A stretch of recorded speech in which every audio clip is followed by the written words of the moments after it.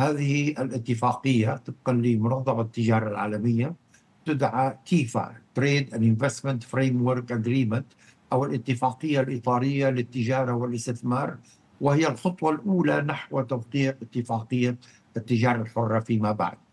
كما ذكرتم في تقريركم آه، أن جميع هذه الاستثمارات السعودية تخطت آه، مبلغ حوالي 131 مليار ريال آه، بعدد 7000 شركة سعودية فيما يتجاوز التبادل التجاري بين البلدين حوالي 60 مليار ريال.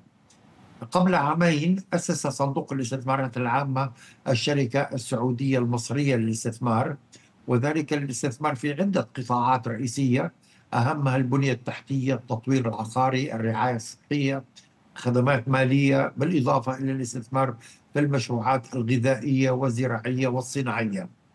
من الجدير بالذكر أيضا أن أهم مشاريع التي تم توقيعها بين المملكة ومصر آه، هو أكبر مشروع من نوعه في الشرق الأوسط وهو اتفاقية حقل الانتفاع لمشروع إنتاج طاقة الرياح بمنطقتي خليج السويس وجبل الزيت بسعة واحد وواحد من عشرة جيجا وات تصل استثمارات هذا المشروع إلى مليار و500 مليون دولار آه، تم التوقيع عليه بين هيئة تنمية واستخدام الطاقة الجديدة والمتجددة والتحالف بقيادة شركة أكوا باور السعودية وشركة حسن علام المصرية نحن نعلم أيضا أن هنالك مشاريع مهمة جدا في المملكة.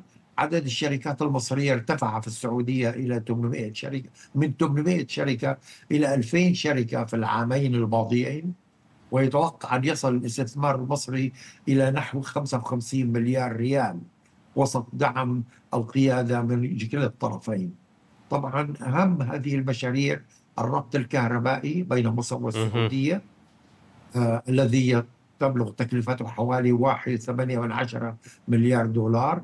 كما لا ننسى أن هنالك المشروع الذي تقوم شركة طلعت مصطفى بإنشائه وهو مشروع بنان في الرياض بحوالي 50 مليار ريال. دكتور فواز آه، عادة هذه الاتفاقيات آه، الإطارية لحماية الاستثمارات المتبادلة ما هو نوع السياسات التي تحتويها؟ وكيف يتم حماية الاستثمارات المتبادلة؟ ما نوع البنود بشكل عام التي تحتويها هكذا اتفاقات إطارية بالعادة؟ نعم أهم البنود أولا أن يكون هنالك شفافية واستشراف وقواعد للتقاضي. لا سمح الله حصل مشكلة بين المستثمر والدولة التي استثمر بها.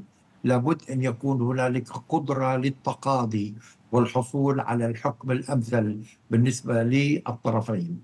آه الشيء الثاني طبعا أن المعاملة الوطنية تصبح هي المبدأ الأساسي في هذه الاستثمارات بدون تمييز. يعني لا يمكن تميز المستثمر المصري في المملكة عن المستثمر السعودي في المملكة.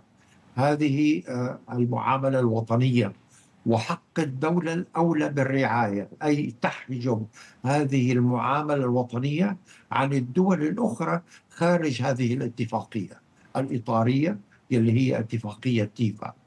طبعا لا شك أن مثل هذه الأحكام تصبح هي الأساس في توقيع مثل هذه الاتفاقيات مستقبلا.